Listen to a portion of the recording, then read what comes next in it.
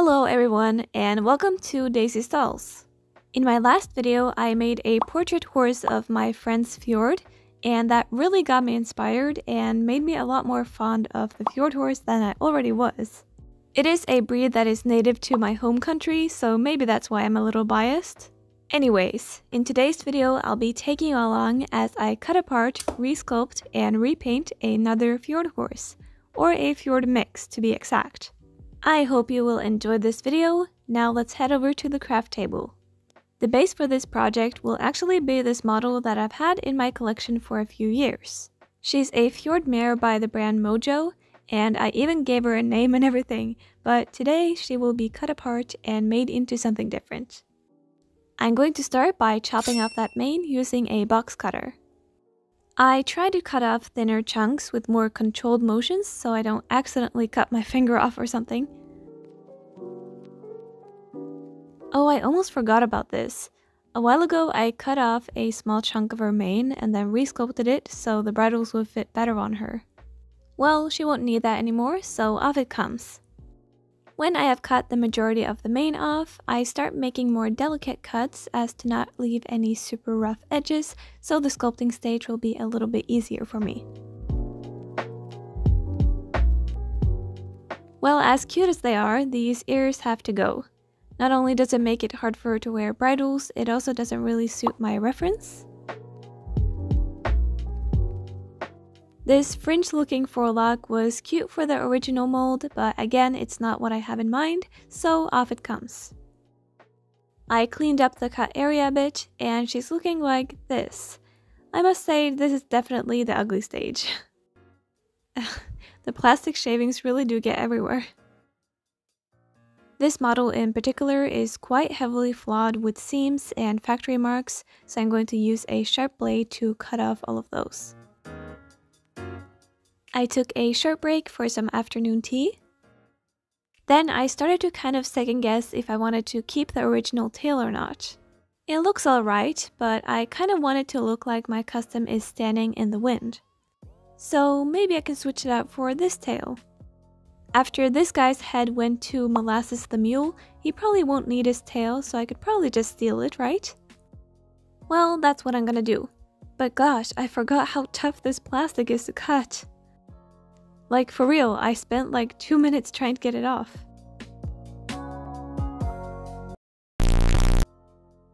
Ah, finally. Remind me to not get this model again. This plastic is so weird. I ran into a small problem with the head. Because the plastic is so weird and soft, it started peeling off the horse's head like this. Anyways, I need to get the tail off my Fjord model as well, so I started cutting with the box cutter but after a while of cutting and very little progress, my hands were feeling so sore, so I guess it's time to bring out the big guns. And there we go. The jeweler saw really came in handy. Hmm. Well, now that I'm looking at it, I'm actually not sure this tail works for this model. Well, it shouldn't be a problem. Among these random horse parts, I should have a few tails. Surely one of these will fit, right? Mm, this one looks a bit too stiff. This one could work as a swishing tail, but having a closer look, the sculpting is actually quite bad, so I don't think so. This one's pretty cute though, and the sculpting is really good. Honestly, I'm just a little bit unsure, so I think I'm going to work on some other parts of this horse and then come back to the tail later. Alright, let's start the process of making this girl look less like an alien and more like a horse using my favorite two-part epoxy sculpt. I dig out equal-sized blobs of tub A and tub B, then thoroughly mix them together. Then I begin the process of filling in the parts I have cut away.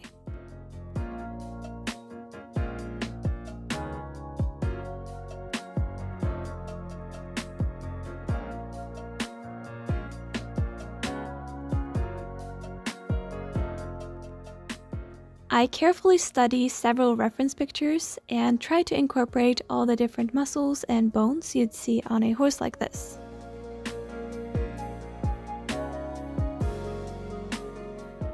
As I work on the different areas, I make sure to go in with a medium-sized needle and add some fur texture before the epoxy cures.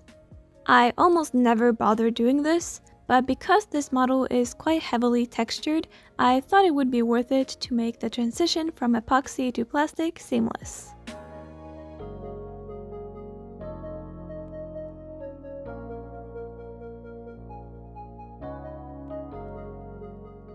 There really is something about this model's face that is just a bit off. I can't really put my finger on it, but I think I need to try to fix it. Perhaps making her face more dished would help? Well, I'm not quite sure about it, but let's fill it in with epoxy and see how it looks. While sculpting, I realized she has this very harsh dip by her muzzle, and I don't think that's helping my case, so let's fill that in as well.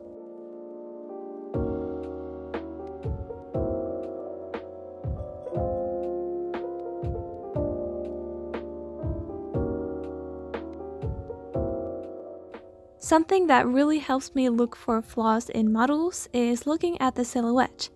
I hold the model up to a window like this, and this way I can objectively look at the silhouette and not be distracted by any contrast in color or anything like that.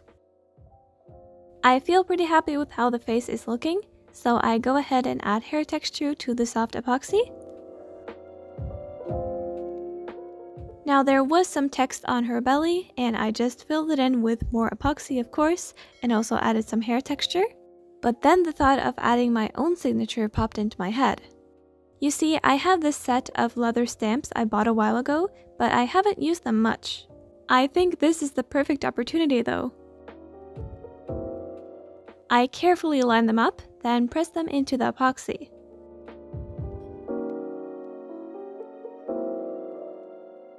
Hey, look at that! That's actually really cool, I really like that. If you're interested, I found this for cheap on eBay, and you can probably find it on AliExpress too. I'll try to leave a link down below if I can find some. Anyways, back to sculpting.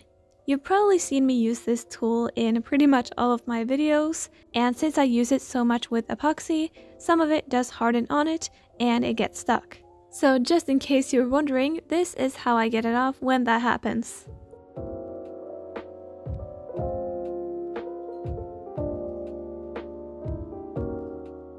She has this pretty big air bubble on her knee here, so I'm going to fill that in with more epoxy.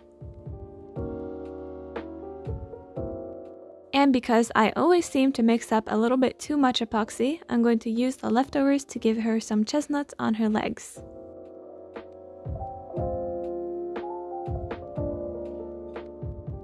Before I start tackling the ears, I'm going to cover up the rest of the cut area with more epoxy. So let's make the ears. I pick out a drill bit that is a little bit thicker than the wire I plan to use.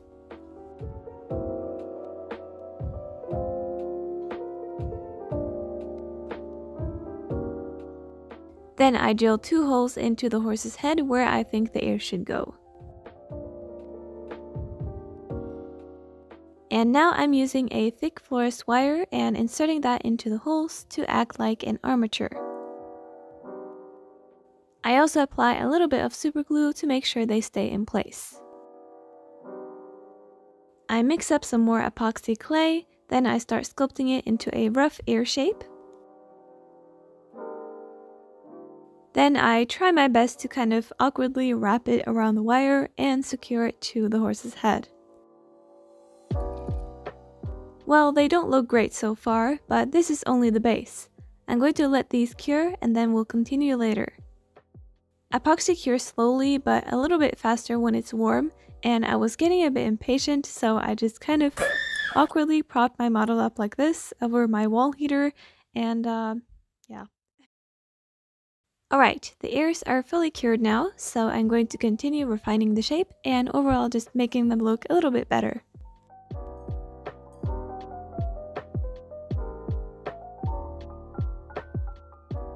And since she is a fjord, you know she better have those fantastic fluffy ears. I don't think I'm fully satisfied with them just yet, but I'm going to let these cure for now. In the meantime, I'm going to be using this Pebeo porcelain liner to add some textural details to the eyes and muzzle.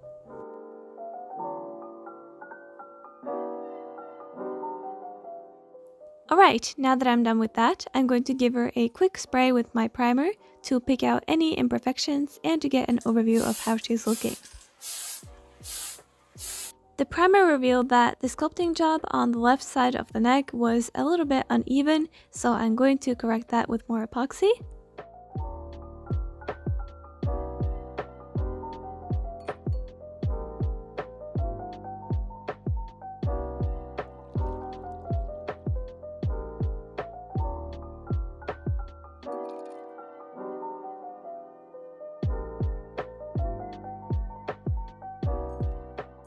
Whenever I'm done with sculpting something quite detailed, I like to take a wet paintbrush and run it across the surface just to smooth everything out and make the transition more seamless.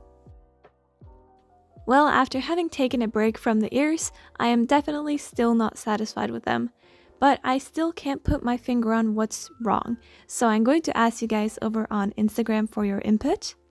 Although 92% of you said that the ears looked good, the other 8% came with some very good criticism. For example, some of you pointed out that the ears might be a bit small and also set a bit far back on the head, so I took these into consideration and got out the epoxy. As much as I talk about epoxy on this channel, they don't sponsor me, but Apoxie, if you're watching this and want to, well, my email is on my channel. Anyways, what I'm doing with the ears is fattening up the base a little bit because they were looking a bit thin and awkward. I also decided to make the ears a little bit bigger. Here you can see I've done it on one and it looks a lot better, so I'm going to do it on the other one now. To make them a bit bigger, I lay a snake of epoxy around the edge of the ear like this, then try my best to smooth it out and make the transition seamless. Yeah, I really like them a lot more now. So thank you guys so much for your great input, I really appreciate it. So after more work than I anticipated originally, I am finally happy with how the girl is looking, so I guess it's time to give her that mane. So as usual, I sculpt the mane by laying down thick snakes of epoxy, then using a needle and some water to sculpt the hair texture.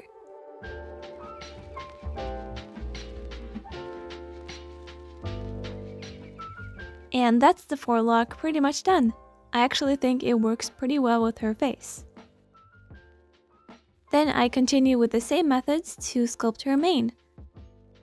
I sculpt the mane to make it look like she's standing in the wind, both because I want kind of out and about trail pony kind of vibes, but also because it gets the mane away from her ears so she can wear bridles more easily. I really don't consider myself the best sculptor when it comes to flowy manes, but I think this one is alright. Now, what are we gonna do about that tail? now, the old one is really stiff and it definitely doesn't suit the mane, but I still feel like it's the best match. Hmm, maybe I can spruce it up with some more epoxy. Let's hope I can pull this off.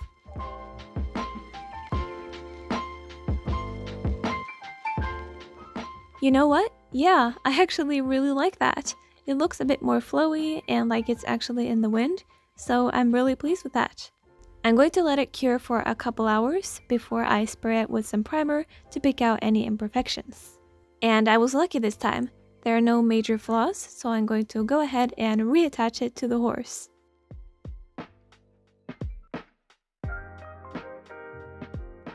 And after a little bit of sculpting to fill the gap that didn't need to be there in the first place, The tail is looking clean and ready to be painted. Yes, after many hours of unexpected work, it is finally time to get out the paints. I use a watered down mixture of brown and white and paint that on the model in several layers until it's fully opaque. Now painting on the base color really looks like a simple and quick process, but I assure you it takes forever. I do kind of bring it upon myself, I do admit, because I do many watered down layers of acrylic as opposed to one thick one. You can see when I bring the model into a different lighting, there are some areas where the original color is shining through and I need to get rid of that.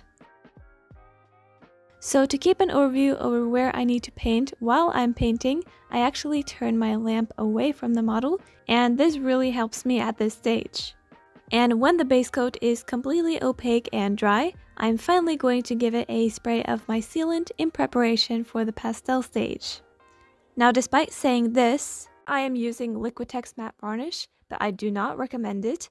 I recently picked up a Mr. Super Clear sealant and that one is so much better and it is not yellow, so I'd recommend you use that instead. In my previous video, I am still using the Liquitex varnish. I really wish I wasn't because it is still very yellow, but the Mr. Super Clear ended up not working with the pastels, so my hunt for the perfect sealant continues. Apparently I got a little bit carried away and oversprayed her a little bit, but I think it actually filled in some of the hair texture and I'm not against that. Because of that, she took a little bit longer to dry, so I set her outside for a couple minutes to prevent any dust from settling on her. Now, after two layers of the sealant, she's finally ready for some pastels. As per usual, I'm using my Gallery by Mungyo Artist Soft Pastels. I'm going to grind my pastels into a dust using this fine mesh. And to catch the dust, I'm using a repurposed yogurt lid. I mostly use white and a few brown tones until I achieve my desired color. I put a glove on the hand I'll be holding the horse with, and then it's time to apply the pastels.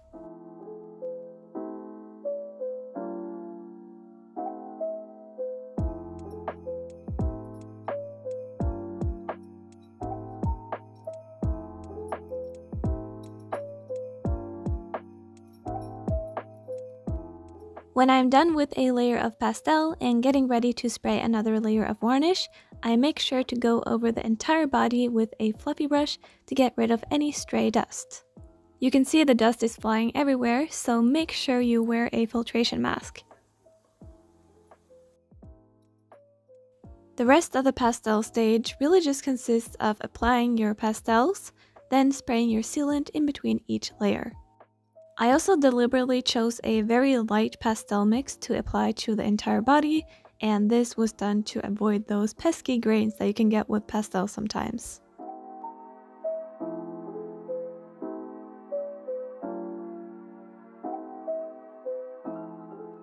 And also in between each layer of varnish, I apply a layer of light gray to her eyes and muzzle. When I'm done applying the last layer of pastel, which for me was the fourth layer, I actually spare with my Mr. Super Clear varnish. It's a super great varnish on all levels except that the pastels don't stick to it, so that's why I use it like I do. And here she is, after 4 layers of pastels, she's looking great, and there's not much graininess on her either. So now it's time to paint her mane and add some details with acrylic paint. Again, I watered down the paint a fair amount to avoid losing any details in that sculpted mane. A little tip while you're painting the mane, make sure to look at it from many angles because it's so easy to miss the edges and sides like I've done here. Even though she is a fjord mix, she doesn't get to opt out of that classic mane, so when the brown mane is opaque, I'm going to start blending in some off-white stripes.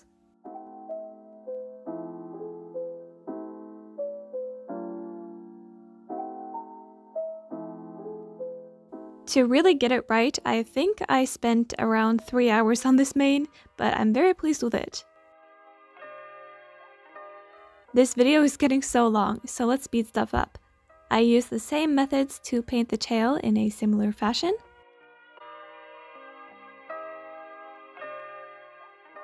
Painting the dorsal stripe is always daunting, but I think I did alright. Then I was going to paint the eyes, and... Okay, don't panic. I quickly sucked the paint up with a dry paintbrush and it was fine. Anyways, I continue painting the eyes as usual, adding some black, then some blue and brown, and a bit of gold metallic paint. Then with a few more details and finishing touches, this mare is finally done.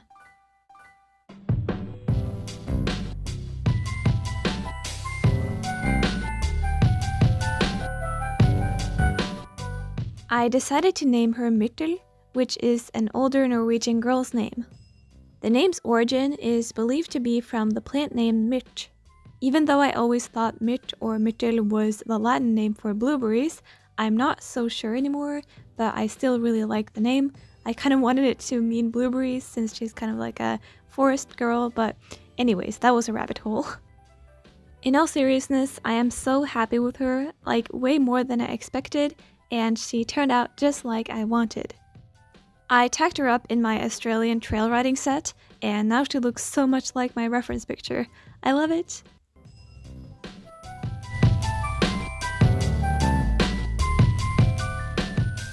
That was it for this time. Thank you all so much for watching this video and supporting this channel. It means so much to me.